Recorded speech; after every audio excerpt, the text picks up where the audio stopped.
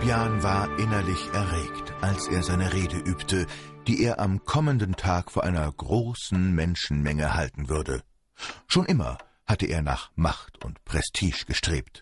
Nun würde sein Traum bald wahr werden. Fabian war ein Handwerker, der mit Gold und Silber arbeitete, Schmuck und Verzierungen herstellte, doch es gefiel ihm nicht mehr, dass er sich seinen Lebensunterhalt mit Arbeit zu verdienen hatte. Er suchte den Reiz des Außergewöhnlichen, die Herausforderung. Und nun stand sein großer Plan vor der Verwirklichung. Seit Generationen war der direkte Warenaustausch die gängige Art des Handels. Wer eine Familie zu ernähren hatte, bewältigte diese Aufgabe entweder ganz durch eigenen Anbau und eigene Viehzucht oder er spezialisierte sich auf ein bestimmtes Gewerbe. Der Überschuss aus eigener Produktion wurde gegen den Überschuss anderer eingetauscht. Der Marktplatz war der muntere Mittelpunkt des gesellschaftlichen Lebens. Trotz Staub und Lärm war das bunte Treiben allgemein beliebt, denn es gab immer viel Neues und Interessantes zu hören. In letzter Zeit schienen sich jedoch Reibereien und Streitigkeiten zu häufen. Wozu noch viele Worte darüber verlieren? Es war an der Zeit, ein besseres System auf die Beine zu stellen. Für gewöhnlich waren die Menschen bislang guter Dinge gewesen und hatten sich an den Früchten ihrer Arbeit erfreut. Die Regierungsform war ausgesprochen simpel. In jeder Gemeinde wurde ein Bürgerrat gewählt, dessen Aufgabe es war, Freiheiten und Rechte des Einzelnen zu sichern und zu gewährleisten. Niemand durfte gegen seinen Willen zu irgendetwas gezwungen werden, weder auf Betreiben eines Einzelnen noch einer Gruppe. Das war der einzige Zweck der Regierung, und jeder gewählte Bürgermeister wurde von seiner Gemeinde bereitwillig unterstützt. Der Markttag warf jedoch einige Probleme auf, denen nicht ohne weiteres beizukommen war. Welchen Wert hatte ein Messer? Sollte es mit einem oder mit zwei Körben Mais bezahlt werden? War eine Kuh mehr wert als ein Leiterwagen? Wo war der Maßstab? Niemandem fiel ein besseres System ein.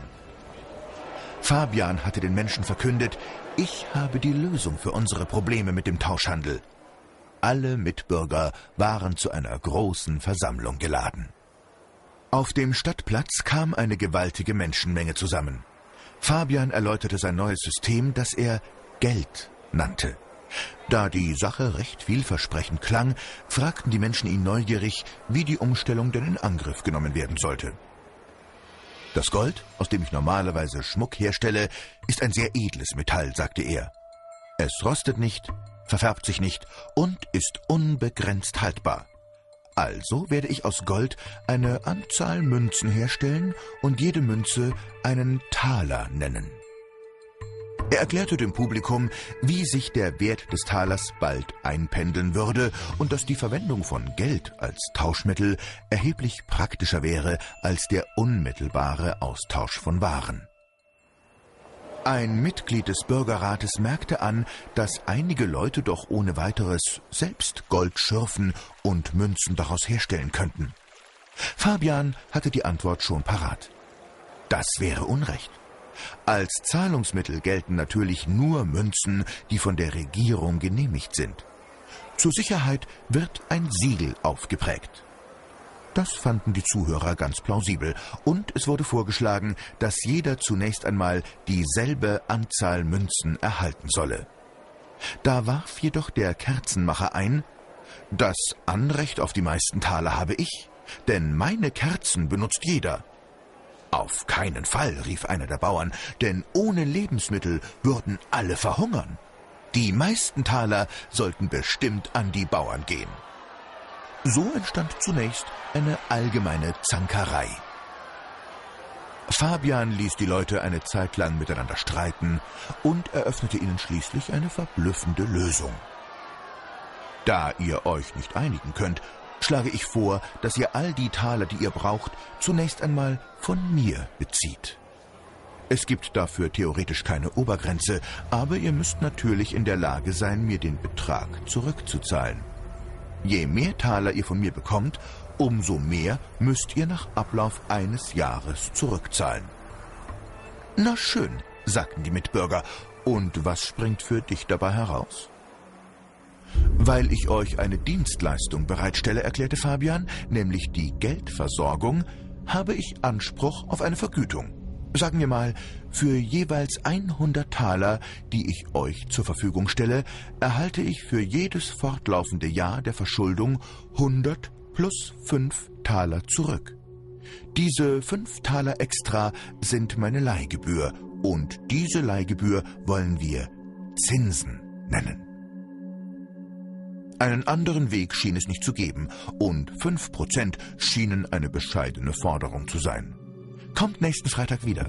Dann fangen wir an. Fabian verlor keine Zeit und verbrachte die nächsten Tage und Nächte mit der Herstellung von Münzen. Eine Woche später standen die Leute vor seinem Geschäft Schlange.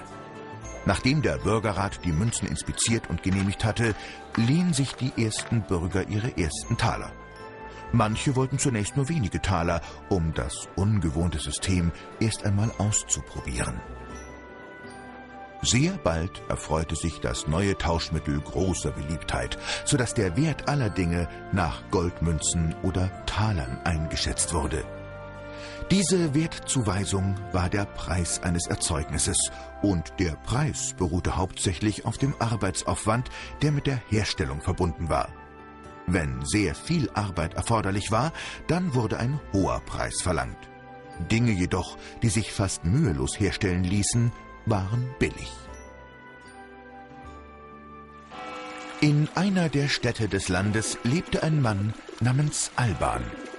Er war der einzige Uhrmacher. Seine Kundschaft war bereit, für seine Uhren einen hohen Preis zu bezahlen. Dann aber kam ein anderer Mann, der ebenfalls Uhren herstellte und sie billiger anbot, um seinen Absatz zu steigern.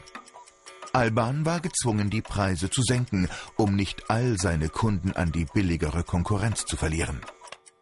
Bald hatte sich die Preisentwicklung auf einem kundenfreundlichen Niveau ausgeglichen, weil beide Uhrmacher bestrebt waren, zum günstigsten Preis die bestmögliche Qualität zu liefern. Es war ein echter und ehrlicher, freier Wettbewerb. Das gleiche Prinzip erfasste bald sämtliche Branchen das Baugewerbe, den Transportsektor, die Landwirtschaft, ja sogar die Buchhalter und jeden anderen Beruf. Die Kunden hatten freie Auswahl und entschieden sich nach eigenem Ermessen für das beste Angebot. Es gab keine künstlichen Schutzmaßnahmen wie etwa Konzessionen oder Zölle, um anderen Leuten den Einstieg ins Geschäft zu verwehren. Der Lebensstandard stieg. Und schließlich wunderte sich ein jeder, wie ein Leben vor der Einführung des Geldes überhaupt möglich gewesen war. Zum Jahresende suchte Fabian all die Leute auf, die ihm Geld schuldeten. Manche besaßen inzwischen mehr, als sie geborgt hatten, was aber gleichzeitig bedeutete, dass andere nun weniger hatten, da ja nur eine bestimmte Anzahl Münzen in Umlauf gebracht worden war. Wer einen Überschuss erzielt hatte, zahlte also die 100 Taler plus 5 Taler Zinsen zurück, musste sich oft jedoch erneut Geld leihen, um im Geschäft zu bleiben. All den anderen wurde erstmals